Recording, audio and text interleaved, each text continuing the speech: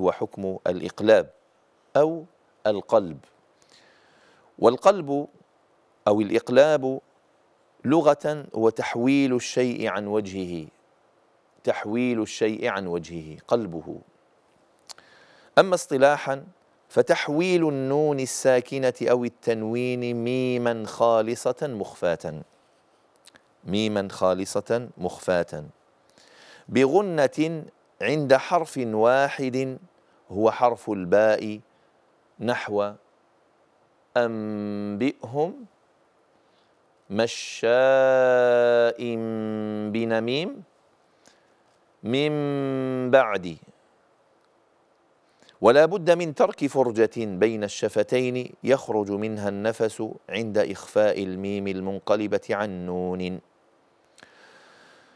وهذا الحكم طبعا هو حكم سهل.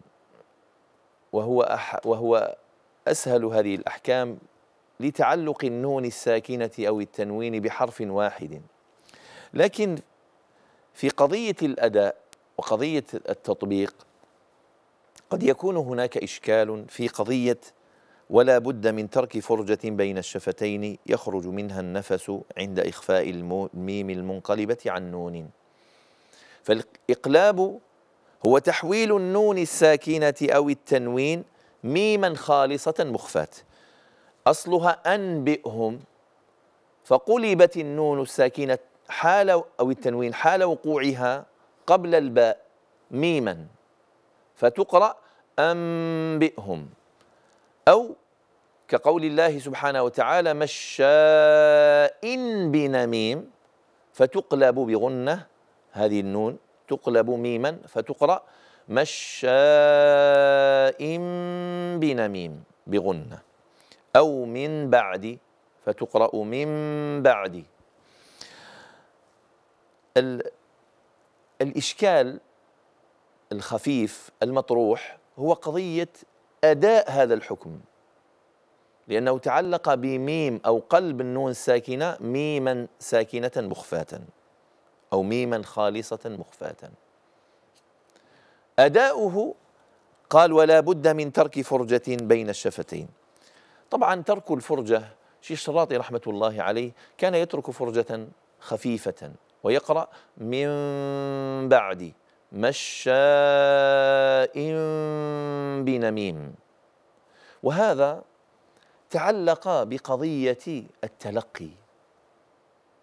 فإذا جلس الطالب أو المريد إلى شيخ يعلمه قد ينقل عنه هذا الإخفاء أو هذا الإقلاب يصير هذا الإخفاء قلنا ينقلب النون الساكنة أو التنوين ميما مخفاة. يصير هذا الحكم بأداء ترك الفرجة. فيقرأ مثلا مشاء بنميم.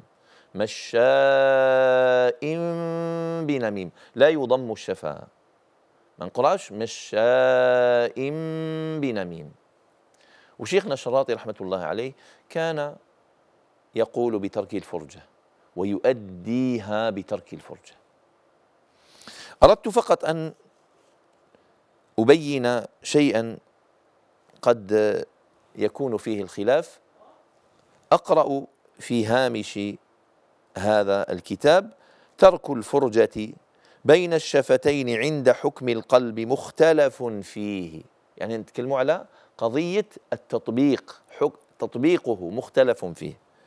والقول الذي رجحه المحققون من أهل الأداء وجماهير القراء هو عدم ترك الفرجة.